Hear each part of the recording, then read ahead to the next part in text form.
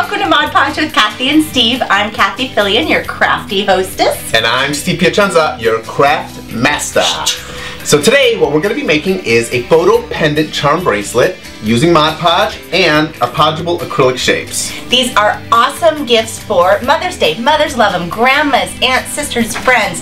They are so fun and personalized. And we're using Cathie's old school photos. With a lot of bad hairdos. Thank you, Mom, no, for bad hairdos. You look cute in these pictures. But of course, you can use your own photos and any kind of paper for this project. Before you get started, you're going to want to take your photos and go to a local copy shop and get them color copied. You're also probably going to need to size them down, so bring your clear podgeable shape with you and size it down on the color copier. Well, let's get started. Let's make a charm bracelet. Let's do it.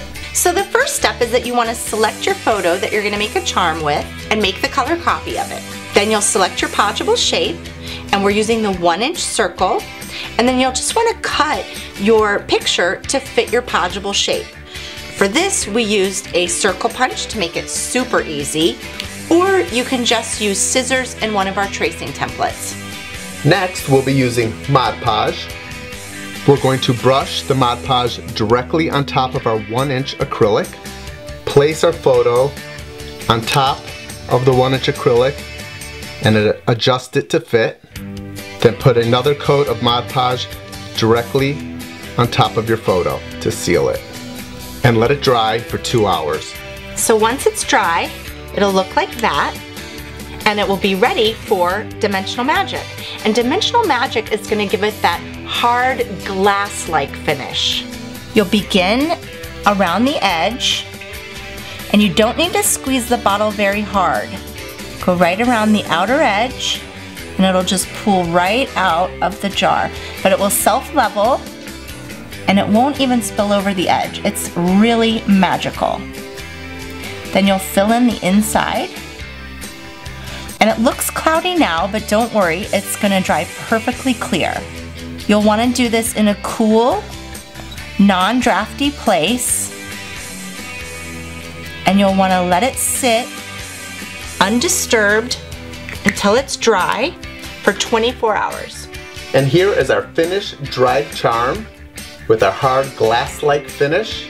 And you can really see, once it dries, that the colors really pop. The last thing is that you'll need to assemble your charm bracelet. And we're just using this rhinestone charm bracelet, but you can use any charm bracelet blank. And you're gonna need a jump ring. I've gone ahead and opened that one up.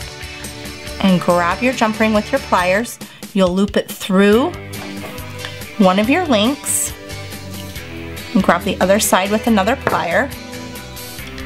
And you'll put your photo on. Photo charm on, I guess I should say. So you'll just close that up. And boom, you got yourself a photo charm.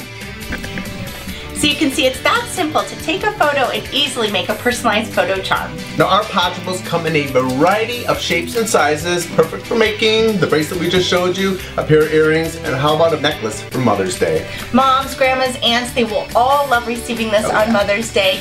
Well, probably any day mm of the year they would like it. well, thank you for joining us. And next time we're gonna do projects with Steve's old school photos. Oh, no we're not. Leave us a message on this video and tell us if you'd like to see some of his old mugs. See you later. Bye. Bye. Have fun mug talking. We are not showing my photos. yes. the really bad haircut ones. the layers. Yeah.